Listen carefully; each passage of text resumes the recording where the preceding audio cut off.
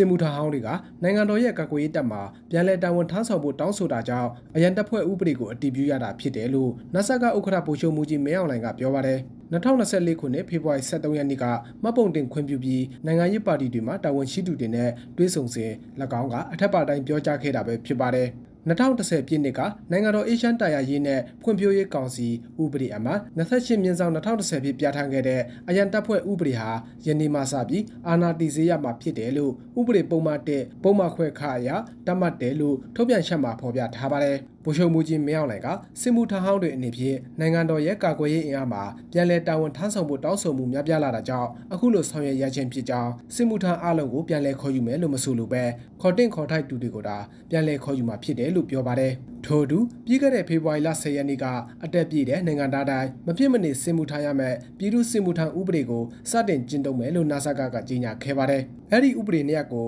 အကောင့်ထဲပေါ်ဆောင်ရွက်တာကြောင့်ကာကွယ်ရေးအင်အားကိုတိုးမြင့်လာစေမှာဖြစ်ကြောင်းနိုင်ငံရဲ့စီးပွားရေးမောင်းနှင်အားဟာမဖြစ်မနေကောင်းမွန်ဖို့လိုအပ်ကြောင်းနဲ့စီးပွားရေးမောင်းနှင်အားကောင်းမှုမှနိုင်ငံရေးမောင်းနှင်အားကာကွယ်ရေးမောင်းနှင်အားတွေလည်းကောင်းမှုမှဖြစ်တယ်လို့နာဆာကဥက္ကဋ္ဌကပြောပါတယ်။ အဲ့ဒီပြည်သူစစ်မှုထမ်းဥပဒေဟာအရင်ကတည်းကရှိခဲ့ပြီးအခုမှသာအတည်ပြုခြင်းဖြစ်ကြောင်းလူ့ရဲ့အကန့်အသတ်နဲ့ခေါ်ယူမှာဖြစ်တယ်လို့နိုင်ငံရေးလေးလာတုံးတတူဦးတက်စော်က CNN သတင်းဌာနကိုပြောပါတယ်တက်ဝင်ပြီးတက်ရောက်တာကတော့ဒါကဟိုဒီနေရာမှာအသက်သွင်းလိုက်တာပေါ့နော်အသက်သွင်းလိုက်ပြီလေအဲ့လောက်ကြီးလေပြည်သူကြားထဲမှာ shock ဖြစ်ကြတော့မရှိဘူးလို့ဆရာတို့ကမင်းတယ်ဘာလဲဆိုတော့တခါကူဘိုးတို့မင်းတွေတခါခေါ်မှတော့လူကြီး9000 လူကြီးကန်တဲ့ရှိတယ်ဘာကျကန်တဲ့ရှိတယ်စီကန်တဲ့ရှိတယ်နေရကြကန်တဲ့ရှိတယ်နော်ဒါဒါပေမဲ့အဲ့ကြားထဲမှာဒီလိုရှိနေတာဘာလို့ခံရရလဲဆိုတော့ဒါရှိပြီးတော့ဒုတာဝန်ကြီးသုံးပါးကိုဘူးရှိရဲ့လူငယ်တွေကစက်ချင်းကတော့ငါရှိလူငယ်တွေကရှင်းပြောရင်တော့ဒါသဘောမပေါက်တဲ့သဘောမပေါက်တဲ့ဒီညားတယ်ပေါ့နော်ဒါကိုဆရာတို့ကနားလေအောင်လို့သင်ကြားပြရမှာထားတော့တက်တက်ကိုင်းလို့တော့မဟုတ်ဘူးလို့ပြောပါတယ်တောက်တာပဲ